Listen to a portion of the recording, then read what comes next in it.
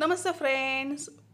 आज हम बनाएँगे होममेड मिल्क मेड या कंडेंस मिल्क कंडेंस मिल्क बहुत अच्छा टेस्ट लाता है। कुछ भी आप स्वीट बनाते हैं उसको, और वो बहुत सारे मिठाई में केक में यूज़ होता है और चॉकलेट में यूज़ होता है, पर उतना ही महँगा भी होता है।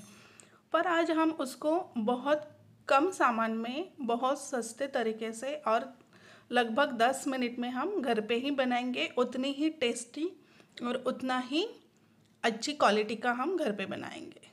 अमूल का ये मिठाई मेड का डब्बा है और ये लगभग 400 ग्राम का है और इसकी प्राइस है एक सौ छः रुपया।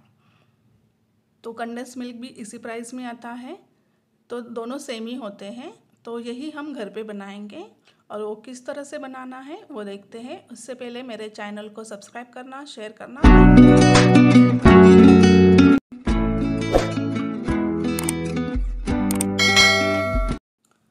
कंडेंस मिल्क बनाने के लिए हम यहाँ लेंगे फुल फैट मिल्क मैंने यहाँ गरम करके, ठंडा करके लिया है।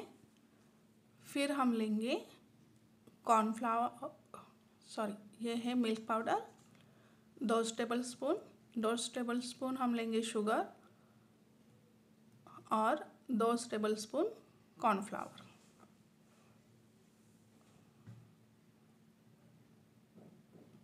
ये कॉर्नफ्लावर है। उसके बदले आप मैदा भी ले सकते हैं, पर कॉर्नफ्लावर से अच्छा और टेस्ट भी आता है। और इसको हम पहले एक पतीले में दूध गरम करेंगे। वैसे तो हमारा दूध गरम किया हुआ है, पर उसको अच्छे से गरम करना है। आप देख सकते हैं, ये डेढ़ सौ एमएल दूध है। अब किसी भी कप से एक एक कप जितना ये दूध है, आप उससे माप ले सकते हैं। फिर दूध थोड़ा गर्म होने के बाद मैं उसमें two tablespoon milk powder डाल रही हूँ। फिर मैं डालूँगी शुगर अगर आपको थोड़ा मीठा कम चाहिए, पर मिल्क मेड तो थोड़ा मीठा ही होता है। तो दो स्पून मैंने शुगर डाली है और यहाँ मैं दो स्पून इतना कॉर्नफ्लावर डालूँगी। अगर चाहते हो तो आप एक साथ ही थोड़ा दूसरे कटोरे में दूध लेके ये सब चीज़ों को मिक्स करके फिर आप इसमें ऐड कर सकते हैं। मैंने डायरेक्ट ही डाल दिया है और उसको अच्छे से मिक्स से मैं हिलाऊँगी ताकि उसमें कोई भी लम्स ना रहे। और आप देख सकते हैं, मैंने लगभग पाँच से छः मिनट उसको कंटिन्यू हिलाया है तो ये अच्छे से गाढ़ा हो गया है और उसका कलर जो भी कंडेंस मिल्क का होता है, उसी तरह से ये कलर आ गया है। जैसे जैसे ये ठंडा होगा, उस तरह से ये गाढ़ा होगा। यहाँ मैंने डेढ़ सौ मिली इतना दूध लिया था तो ये लगभग 200 ग्राम इतना बना बन के रेडी है।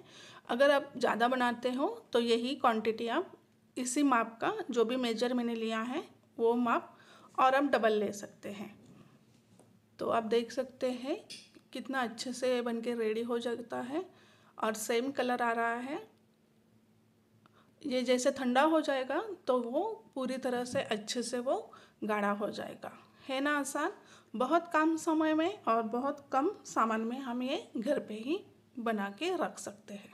इसको आप अच्छे से एयरटाइट कंटेनर में, फ्रिज में दो से तीन महीने तक स्टोर कर सकते हैं, ये ख़राब नहीं होता। मिलते हैं नेक्स्ट वीडियो में, बाय बाय।